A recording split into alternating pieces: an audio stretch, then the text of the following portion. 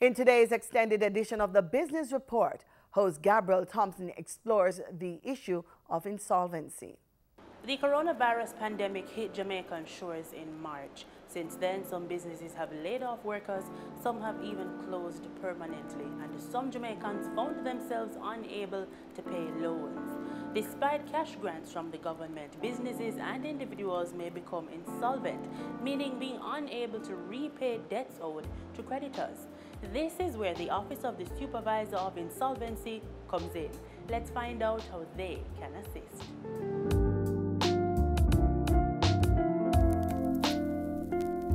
The Office of the Supervisor of Insolvency, OSI, is responsible for two things regulating the licensing of trustees and supervising all estates under the Insolvency Act.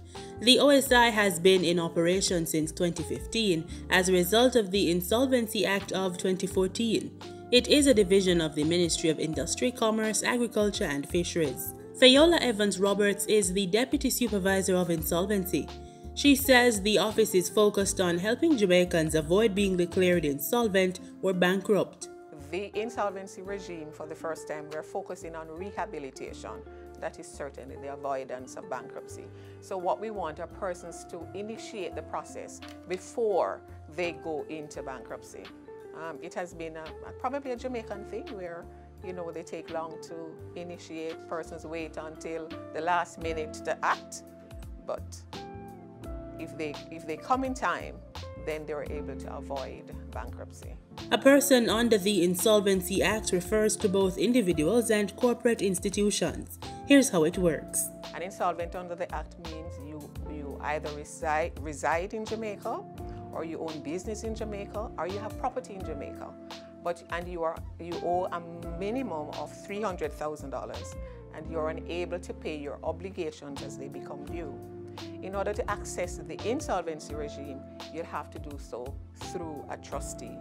What the trustee will do is administer your estate to make sure that you either make a proposal to your creditors or if you're unable to make a proposal, to put you in bankruptcy because that's the, that's the final analysis of it. If you are unable to pay your, your, um, your creditors, then you'll have to go into bankruptcy. So insolvency is different, it's separate from being a bankrupt. The OSI, however, is not limited to assisting large corporate bodies.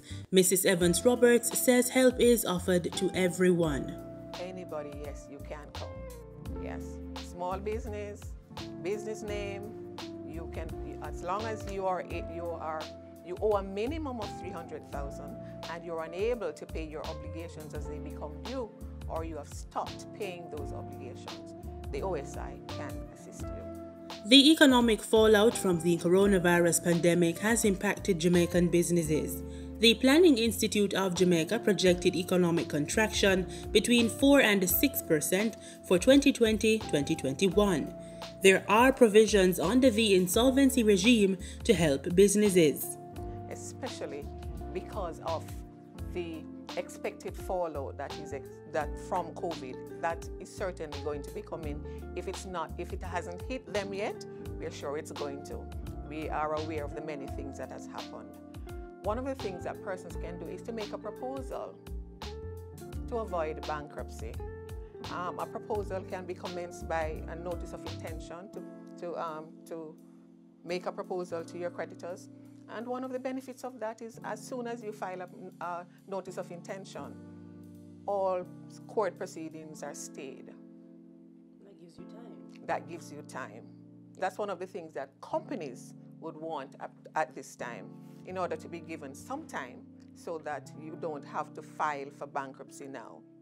The OSI has also been making moves on behalf of individuals, creating special proposals for those with student loans we would approach your creditor on your behalf and come to an agreement for whatever settlement that would be.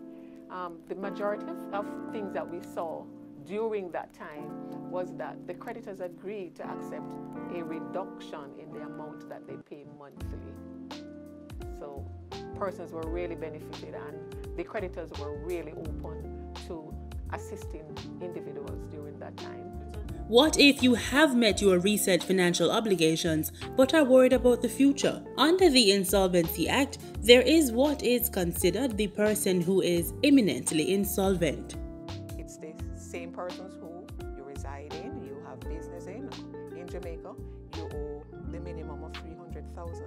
But importantly, you reasonably anticipate that within 12 months, something is going to happen and you will be unable to pay your obligations, to meet your obligation.